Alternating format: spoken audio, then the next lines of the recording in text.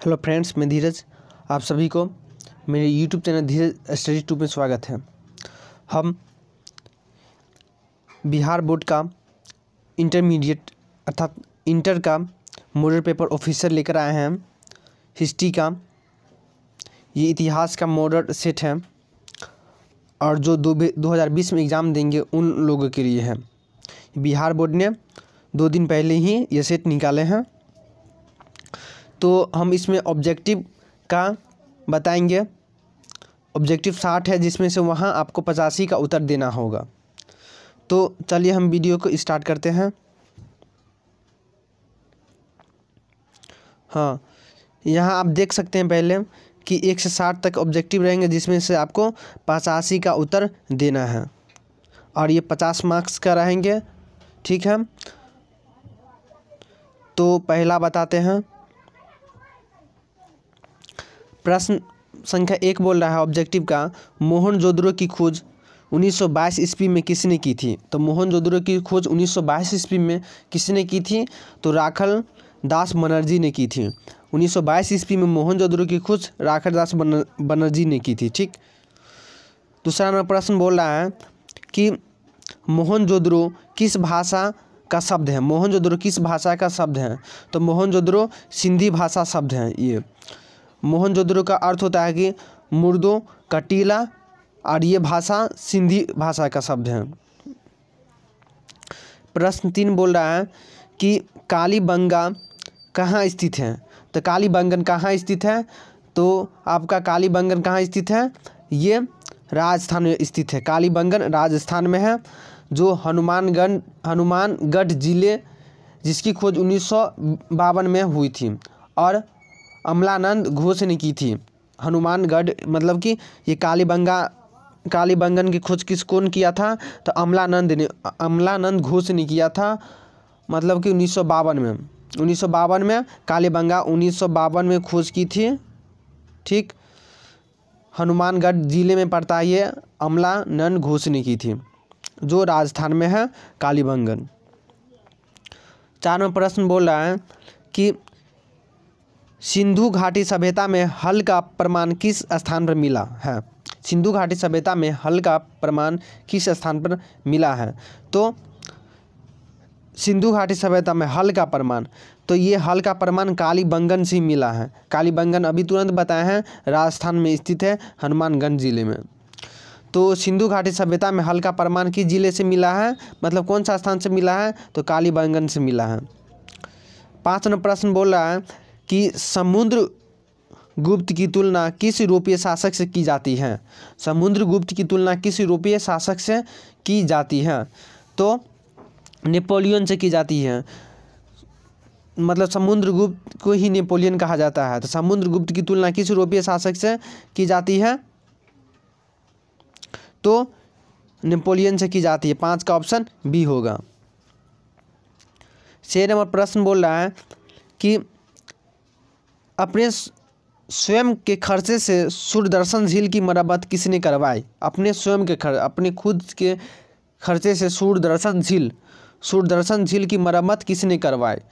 तो option C होगा रुद्र दमन मतलब कौन है? रुद्र दमन अपने स्वयं के खर्चे के, से सूर्यदर्शन झील की मरम्मत। झील बोल रहा है, बाँध नहीं बोल रहा है। झील याद रखेगा, झील बोले तो रुद्र दमन यदि अपने बोले कि इसमें सूरदर्शन बाँध की मरम्मत किसने करवाई? तो इसका होगा, स्कंद गुप्त ने करवाई थी। ठीक?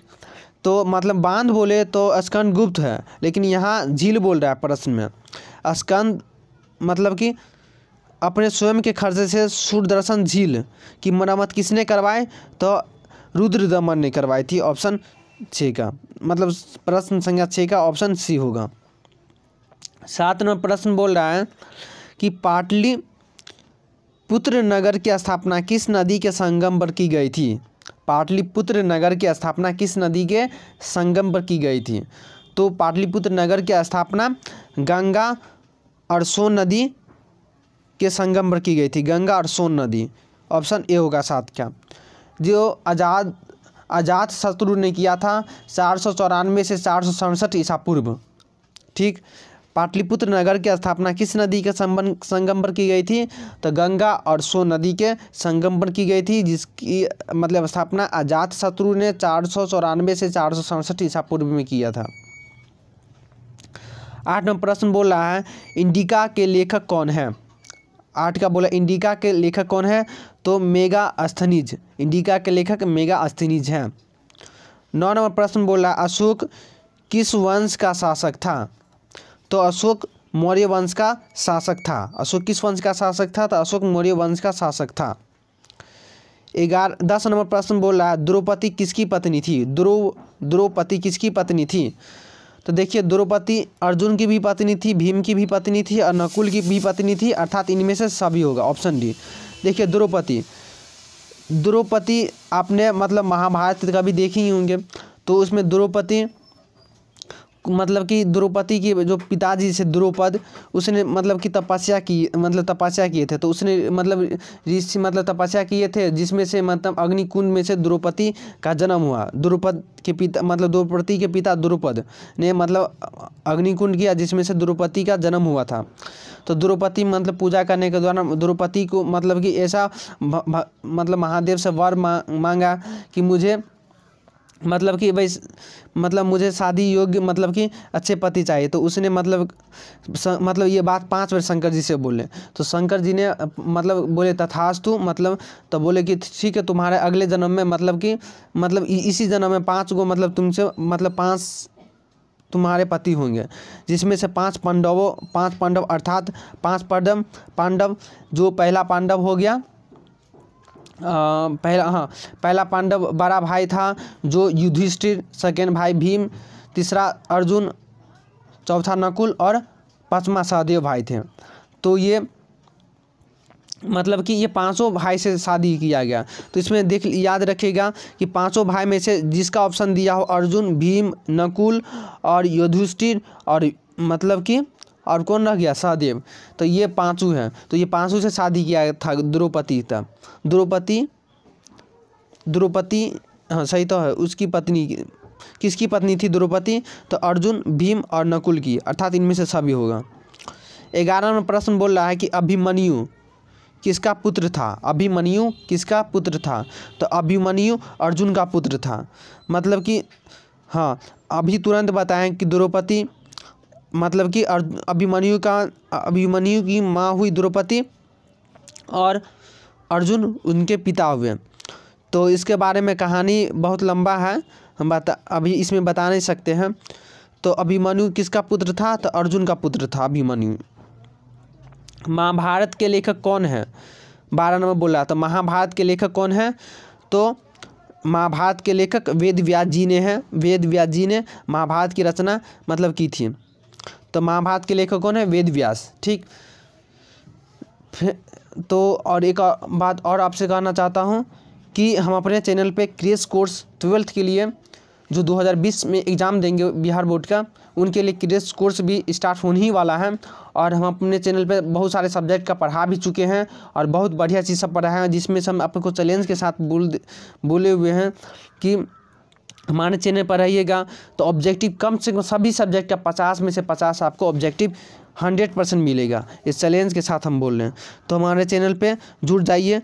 यदि मतलब जो फ्रेंड्स मतलब जुड़ गए हैं, लेकिन वह वीडियो नहीं देखते एक्टिव नहीं है तो वह हमारे चैनल पे जुड़ना ही बेकार है उनके लिए। तो ऐसे दोस्त हमें मतलब हम चाहते हैं कि हमारे चैनल पे दस ही मतलब दस ही को विद्यार्थी मतलब दस ही फ्रेंड्स जुड़े, लेकिन वह जितना मार्क्स कम पढ़ाते हैं, उतना बिहार बोर्ड में आना ही चाहिए। उतना ही तो आप लोग चैनल पे जुड़ जाइए और मतलब सभी वीडियो को आप देखिए। आप लोग देखते नहीं वीडियो को, देखिए और मतलब कि एग्ज़ाम में अच्छे से, अच्छे मार्क्स लाइए। हम अपने चैनल के माध्यम से सोचे भी हैं कि हम अपने चैनल पे बढ़िया मार्क्स इस बार सभी विद्यार्थी को लेकर आएँगे और सोच के लिए, सोच भी लिए हैं और बढ़िया से मार्क्स दिलवाएँगे तो चैनल पर ज्वाइन हो जाइए। चलिए प्रश्न तेरह नंबर प्रश्न बोल रहे हैं। तेरह थर्टी नंबर प्रश्न बोल रहा है कि गौतम बुद्ध को ज्ञान की प्राप्ति कहाँ हुई थी? गौतम बुद्ध को ज्ञान की प्राप्ति कहाँ हुई थी? तो बोध गया में गौतम बुद्ध को ज्ञान की प्राप्ति, ज्ञान की प्राप्ति पीपर के वृक्ष के नीचे हुई थी। चौदह नंबर प्रश्न बोल रहा है, त्रिपिटक किस धर्म से संबंधित संबंधित है? त्रिपिटक। तो त्रिपिटक किस धर्म से संबंधित है? तो बौद्ध धर्म से त्रिपीटक संबंधित है। प्रश्न संख्या पंद्रह बोल रहा है कि अकबरनामा के लेखक कौन है? तो अबुल फजर कृत अकबरनामा के लेखक कौन है? अबुल फजर कृत सोलह नंबर प्रश्न बोल रहा है तंबाकू पर किस शासक ने प्रतिबंध लगाया? तो तंबाकू पर किस शासक ने प्रतिबंध लगाया? तो जहांगीर ने। और प्रश्न, और एक और रहेगा क्वेश्चन कि तंबाकू का सेवन सर्वप्रथम किसने किया? तो सेवन मतलब कि खाना स्टार्ट किया अकबर ने पहले और प्रतिबंध लगा दिया जहांगीर ने। ठीक? तो इसमें प्रतिबंध की बात हो रहा है। सत्रह नंबर प्रश्न बोल रहा है कि कुतुब मीनार का निर्माण किसने आरंभ किया? तो कुतुबुद्दीन ऐबक ने कुतुब मीनार का निर्माण आरंभ किया। कुतुब मीनार का निर्माण कुतुबुद्दीन ऐबक ने किया था। अठारह नंबर प्रश्न हुमायूं का भाई कौन था? तो हुमायूं का भाई कौन था? तो हुमायूं का भाई मतलब कि कामरान, अस्करी, हिंदाल, ये सब मतलब सभी थे। मतलब कि हुमायूं के टोटल पाँच भाई थे। हुमायूं, कामरान, हिंदाल, मिर्ज़ा, खलील मिर्ज़ा और अस्करी मिर्ज़ा, ये। और हुमायूं मतलब कि बाबर के बेटे थे, ठीक? बाबर के बेटा हुमायूं। तो हुमायूं के पाँच गो पुत्र थे, जिसमें से आपको कामरान दिया हुआ है अस्करी दी, अस्करी मिर्ज़ा का दिया हुआ है, और हिंदाल मिर्ज़ा का दिया हुआ है। और उसमें कामरान मतलब हाँ एक तो हिंदाल मिर्ज़ा, खलील मिर्ज़ा, अस्करी मिर्ज़ा, और कामरान, ये सब मतलब ये सब मतलब कि भाई सब है। टोटल मिला के पाँच भाई है, हिमायूं। ठीक? और हुमायूं के पिता का नाम बाबर था। उन्नीस नंबर प्रश्न बोल रहा है कि भारत का प्रथम मुगल सम्राट कौन थे? तो भारत का प्रथम मुगल सम्राट बाबर था। उन्नीस का ऑप्शन ए होगा। बीस नंबर बोल रहा है कि तजुक ए बाबरी किसने लिखी? तजुक ए बाबरी किसने लिखी? तो बीस का तजुक ए बाबरी बाबर ने ही लिखा था। अर्थात तजुक ए बाबरी को हम बाबरनामा के नाम से भी जानते हैं। भारत के मुगल साम्राज्य के संस्थापक बाबर की आत्मलिखित जीवनी है।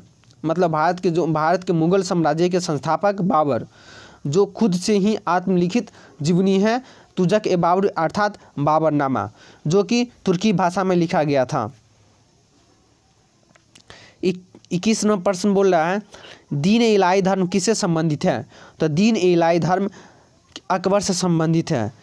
दीन इलाई धर्म किसे संबंधित है? अकबर से। दीन एलाई धर्म में जितने भी धर्म है, सभी धर्म को लिखा गया था और ये दीन इलाई धर्म अकबर बहुत अच्छा अच्छे से लिखे थे, जिसमें से हिंदू, मुस्लिम, ईसाई, सिख मतलब सभी धर्म को इसमें जोड़ा गया था।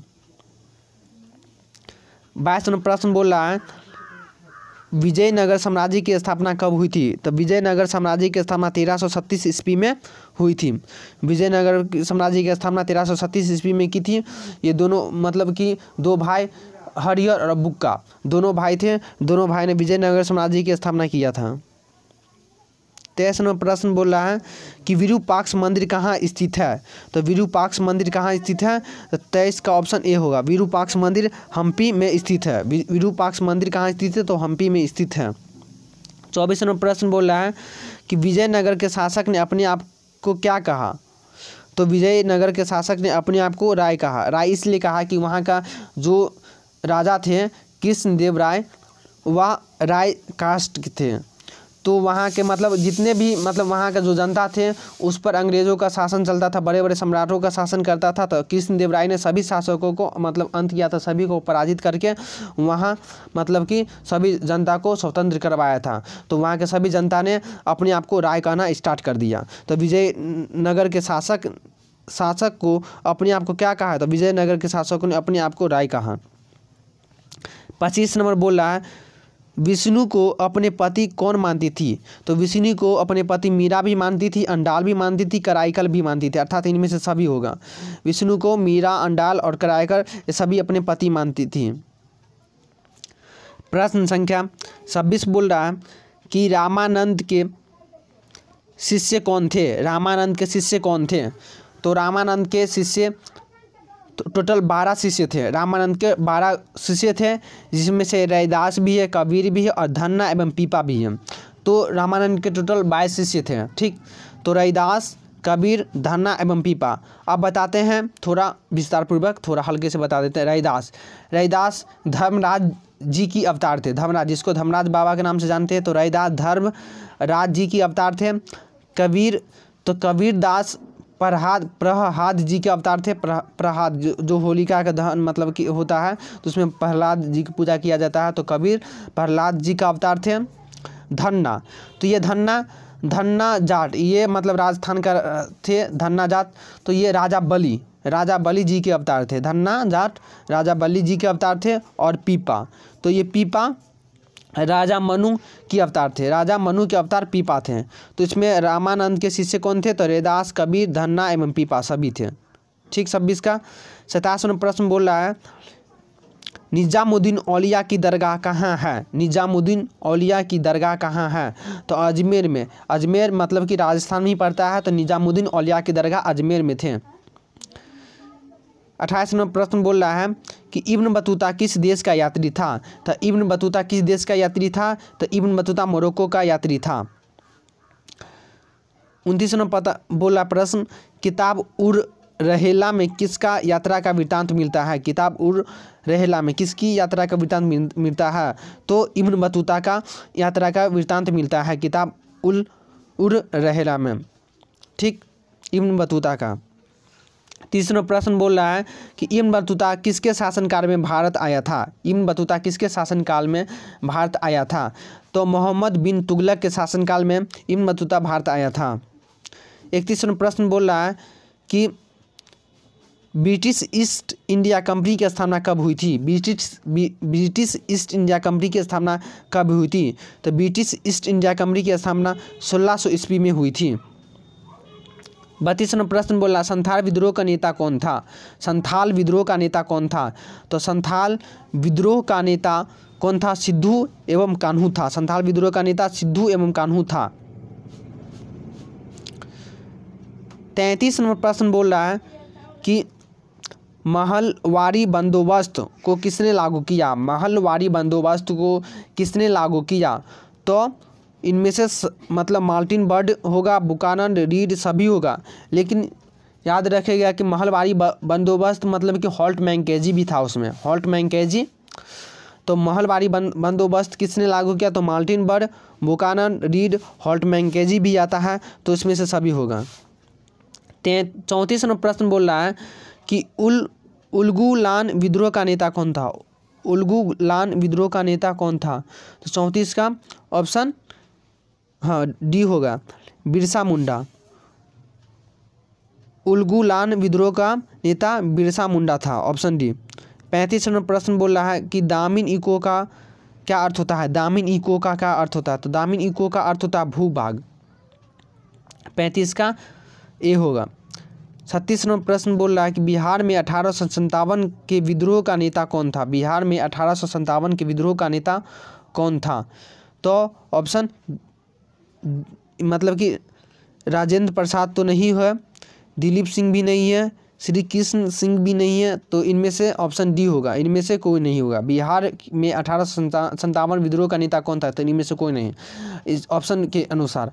तो बिहार में अठारह सौ संतावन के विद्रोह का नेता वीर कुंवर सिंह था। इसका आंसर होगा वीर कुंवर सिंह। वीर कुंवर। कुंवर सिंह। वीर कुंवर सिंह मतलब कि अठारह के विद्रोह का नेता वीर कुंवर सिंह था, ठीक? सैंतीस प्रश्न बोल रहा है कि रानी लक्ष्मीबाई को किस नाम से जाना जाता है? किस किस नाम से जाना जाता है? रानी लक्ष्मीबाई को सबीली के नाम से जानते हैं, मनु के नाम से जानते हैं, मरनी मणिकर्णिका के नाम से भी जानते हैं, अर्थात इनमें से सभी।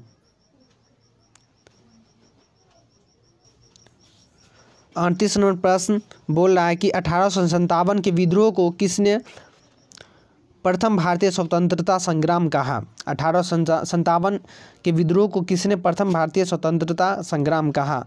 तो कार्ल मार्क्स ने कहा मतलब अठारह के विद्रोह को प्रथम भारतीय स्वतंत्रता संग्राम कार्ल मार्क्स ने कहा। अड़तीस का ये होगा। उनचालीस नंबर प्रश्न बोल रहा है कि अठारह की क्रांति आरंभ कब हुई थी? तो अठारह की क्रांति कब आरंभ हुई थी?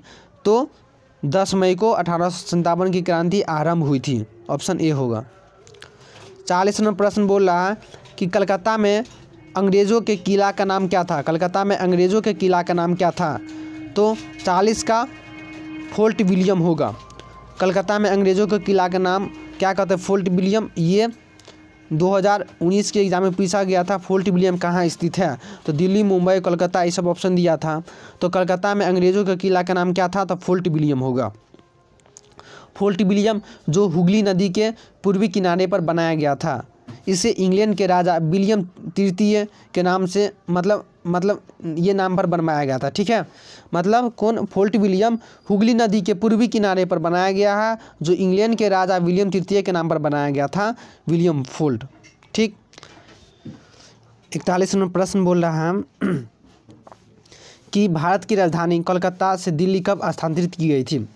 तो 1909 नहीं होगा 1910 भी नहीं होगा 1914 भी नहीं होगा। ऑप्शन डी होगा, इनमें से कोई नहीं। लेकिन भारत की राजधानी कलकत्ता से दिल्ली 12 दिसंबर 1911 को ऐलान किया गया था। पर 1 अप्रैल 1912 को स्थानांतरित कलकत्ता से दिल्ली हुआ था। तो ऑप्शन 1912 रहेगा और कब स्थानांतरित की योजना बनी तो 1911 में, ठीक? तो भारत की राजधानी कोलकाता से दिल्ली कब स्थानांतरित किया गया था तो ऑप्शन डी होगा, ठीक? बयालीस प्रश्न बोल रहा है कि पुर्तगालियों ने गोवा पर कब अधिकार किया तो 1510 ईस्वी में पुर्तगालियों ने गोवा पर अधिकार किया था। तैंतालीस प्रश्न बोल रहा है कि वास्को डिगामा भारत कब पहुँचा तो 17 मई चौदह को वास्को डिगामा ने भारत पहुँचा था। चौवालीस प्रश्न बोल रहा है कि अखिल भारतीय स्तर पर पहली जनगणना कब हुई थी? तो अखिल भारतीय स्तर पर पहली जनगणना अठारह सौ बहत्तर को हुआ था। चौवालीस का बी होगा, अठारह पैंतालीस प्रश्न बोल रहा है कि महात्मा गांधी की आत्मकथा किस भाषा में है?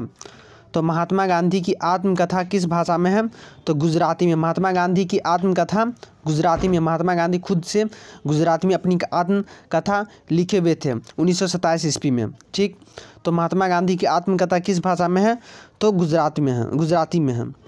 छियालीस नंबर प्रश्न बोल कि महात्मा गांधी दक्षिण अफ्रीका से भारत कब वापस लौटा? तो 1915 ईस्वी में महात्मा गांधी अपनी पूरी पढ़ाई करके 1915 ईस्वी को दक्षिण अफ्रीका से भारत आया था। सैंतालीस प्रश्न बोल रहा है कि चंपारण सत्याग्रह का संबंध किस राज्य से है? तो चंपारण सत्याग्रह सबसे प्रथम सब सत्याग्रह बिहार में हुआ था। तो चंपारण सत्याग्रह का संबंध किस राज्य से है? तो बिहार से है, जो 1917 सौ ईस्वी में हुआ था, चंपारण सत्याग्रह। अड़तालीस प्रश्न बोल रहा है कि दिल्ली चलो का नारा किसने दिया था? तो दिल्ली चलो का नारा किसने दिया था? तो सुभाष चंद्र बोस ने कहा था, दिल्ली चलो। ऑप्शन ए होगा दिल्ली, चलो का नारा का सुभाष चंद्र बोस ने दिया था और ये पाँच जुलाई उन्नीस सौ तैंतालीस ईस्वी को सुभाष चंद्र ने दिल्ली, चलो का नारा दिया था। उनचास नंबर प्रश्न बोल रहा है, उन्नीस सौ सत्रह में गांधी जी किसके अनुरोध अनुरोध पर चंपारण गए थे? उन्नीस सौ सत्रह में गांधी जी किसके अनुरोध पर चंपारण गए थे? तो ये राजकुमार शुक्ल के अनुरोध पे उन्नीस सौ सत्रह ईस्वी में चंपारण गए थे। राजकुमार शुक्ल और महात्मा गांधी मतलब कि ये सब एक ही मतलब एक ही मीटिंग में एक बार गए हुए थे। तो राजकुमार शुक्ल ने मतलब कि बिहार के चंपारण ज़िले के बारे में कुछ बातें बताए वहाँ की खेतों पर नील की ज़बरदस्ती मतलब अंग्रेज़ों के द्वारा मतलब कि गलत काम होता है। तो ये राजकुमार शुक्ल महात्मा गांधी को कहा था तो महात्मा गांधी को चंपारण चलने के लिए कहा था राजकुमार शुक्ल ने। तो मतलब महात्मा गांधी जी ने ये बात को टाल दिए दो तीन बार बोले, फिर टाल दिए, लेकिन ज़बरदस्ती राजकुमार शुक्ल महात्मा गांधी को लेकर आए हुए थे। ठीक? तो उनचास का ऑप्शन डी होगा, महात्मा गांधी से अनुरोध, राजकुमार शुक्ल ने उन्नीस सौ सत्रह ईस्वी में चंपारण जाने के लिए कहा था। पचास प्रश्न बोला है कि गांधी जी ने असहयोग आंदोलन किस वर्ष आरंभ किया? तो महात्मा गांधी ने असहयोग आंदोलन 1920 को शुरू किया था। इक्कीस, इक्यावन नंबर प्रश्न बोला पुनः समझौता किस वर्ष हुआ था? पुनः समझौता 1932 में हुआ था। भीमराव अंबेडकर और महात्मा गांधी के बीच हुआ था, जो 24 सितंबर 1932 को पुणे की जेल में भाग, भागदा सेंट्रल जेल में हुआ था। ठीक भीमराव अंबेडकर महात्मा गांधी के बीच में पुनः समझौता उन्नीस सौ बत्तीस को हुआ था, चौबीस सितंबर को। बावन प्रश्न बोला, सविनय अवज्ञा आंदोलन का आरंभ किसने किया था? सविनय अवज्ञा आंदोलन, असहयोग आंदोलन, ये सब जितने भी आंदोलन हुआ था, ये महात्मा गांधी ने आरंभ किया था। तिरपन प्रश्न बोला कि सुभाष चंद्र बोस भारतीय राष्ट्रीय कांग्रेस के अध्यक्ष कब बने? सुभाष चंद्र बोस, भारतीय राष्ट्रीय कांग्रेस के अध्यक्ष कब बने? तो उन्नीस सौ अड़तीस ईस्वी को सुभाष चंद्र बोस भारतीय राष्ट्रीय कांग्रेस के अध्यक्ष बने थे। चौवन नंबर प्रश्न बोला, उन्नीस ईस्वी में फॉरवर्ड ब्लॉक की स्थापना किसने की थी? उन्नीस ईस्वी में फॉल वर्ल्ड ब्लॉक की स्थापना किसने की थी? तो सुभाष चंद्र बोस ने ही फॉरवर्ड ब्लॉक की स्थापना की थी। छप्पन नंबर प्रश्न बोल रहा है, मुस्लिम लीग की स्थापना किस वर्ष हुई थी? मुस्लिम लीग की स्थापना किस वर्ष हुई थी? तो मुस्लिम लीग की स्थापना कब हुई थी? तो 1906 ईस्वी को हुआ था, मुस्लिम लीग की स्थापना 30 दिसंबर 1906 ईस्वी को ढाका, बांग्लादेश में हुआ था। छप्पन नंबर प्रश्न बोल रहा है कि भारतीय राष्ट्रीय कांग्रेस की स्थापना कब हुई थी? भारतीय राष्ट्रीय कांग्रेस की स्थापना कब हुई थी? तो अठारह ईस्वी को भारतीय राष्ट्रीय कांग्रेस की स्थापना हुई थी। ठीक, छप्पन का ऑप्शन ए होगा। संतावन नंबर प्रश्न बोल रहा है कि कैबिनेट मिशन किस वर्ष भारत आया था? तो कैबिनेट मिशन अथा, उन्नीस सौ ईस्वी को कैबिनेट मिशन भारत आया था, जिसके सदस्य तीन थे, कैबिनेट मिशन के। कैबिनेट मिशन किस वर्ष भारत आया था? तो उन्नीस सौ ईस्वी को। अंठावन नंबर प्रश्न बोल रहा है, संविधान सभा की प्रारूप समिति के अध्यक्ष कौन है? तो भीमराव अंबेडकर। संविधान सभा की प्रारूप समिति के अध्यक्ष कौन थे? तो भीमराव अंबेडकर। साठ उनसठ नंबर प्रश्न बोल रहा है कि भारत को गण कब गणतंत्र घोषित किया गया? तो गणतंत्र छब्बीस जनवरी 1950 को संविधान लागू किया अर्थात गणतंत्र हुआ भारत हमारा। वहाँ मतलब रू, रू, रूल नियम स्थापना हुआ संविधान स्थापना हुआ छब्बीस जनवरी 1950 को। ठीक? तो उनसठ को भारत को कब गणतंत्र घोषित किया गया? तो छब्बीस जनवरी 1950 को। और लास्ट ऑब्जेक्टिव प्रश्न बोल रहा है स्वतंत्र भारत के प्रथम राष्ट्रपति कौन थे? स्वतंत्र भारत के प्रथम राष्ट्रपति कौन थे? डॉक्टर राजेंद्र प्रसाद। डॉक्टर राजेंद्र प्रसाद स्वतंत्र भारत के प्रथम राष्ट्रपति थे। तो हमें कमेंट करके बताइए कि या मतलब कि वीडियो आपको कैसा लगा? और जो फ्रेंड्स या पूरा वीडियो देखे, वह हमें कमेंट करके बताइए। और हम मतलब कि वह हमारे नज़रों में रहेंगे कि कौन मतलब कौन कौन वीडियो देखते मतलब कौन कौन वीडियो पूरा देखे हैं और किसने पूरा सीखा, ठीक? तो हमें बताइए और सभी वीडियो का डिस्क्रिप्शन बॉक्स में लिंक्स दिया हुआ है, लिंक दिया हुआ है तो वहाँ से लिंक के थ्रू आप सब वीडियो पर पहुँच सकते हैं, ठीक? तो थैंक्स फॉर वॉचिंग, धन्यवाद वीडियो देखने के लिए और अपने ट्वेल्थ का तैयारी हमारे चैनल पे कीजिए।